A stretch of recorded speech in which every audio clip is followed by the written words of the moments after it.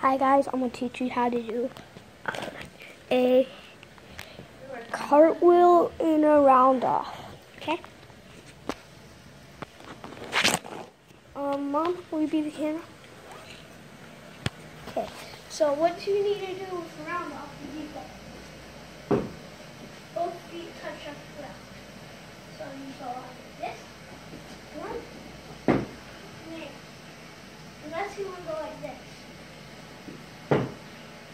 Have to live.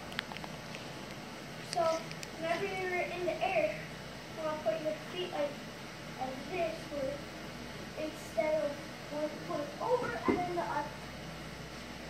To cartwheel, need this. One foot, then the other. So the first one go like that, then the other. So this is how it's going to look.